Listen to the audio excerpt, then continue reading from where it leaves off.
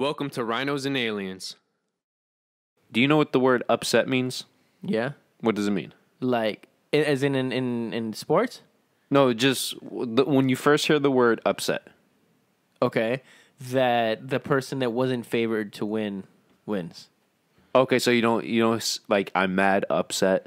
You don't think that? Oh, yeah. That's what I said. In which are you referring to? I just I was just I was just asking you when you hear the word upset, what's the first thought that comes to mind? Well, it depends on the context.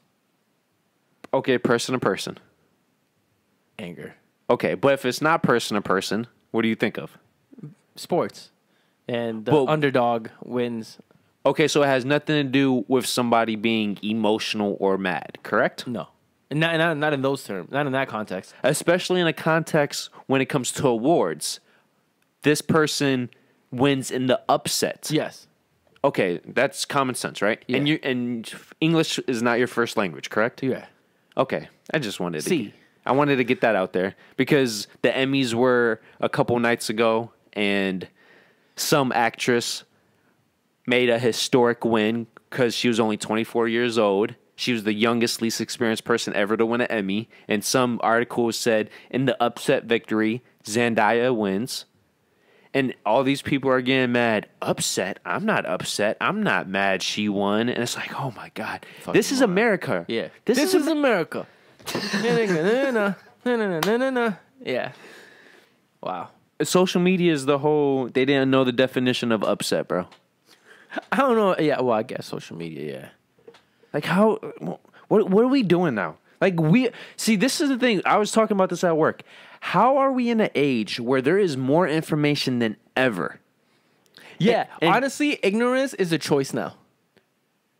It it is. One hundred percent. There is no excuse to be ignorant, especially online.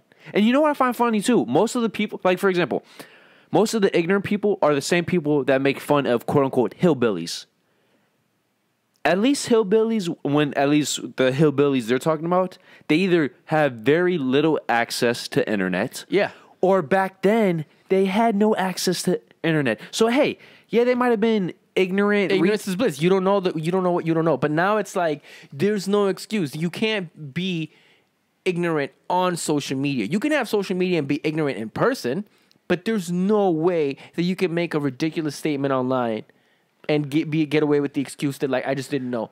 Bitch, we are in the information age. yeah, The most uh, readily accessible information ever in any period of time. Just a friendly reminder, guys. Hit the subscribe button in this corner, and then for the newest video, then for the most recommended, and then for our famous dick pic.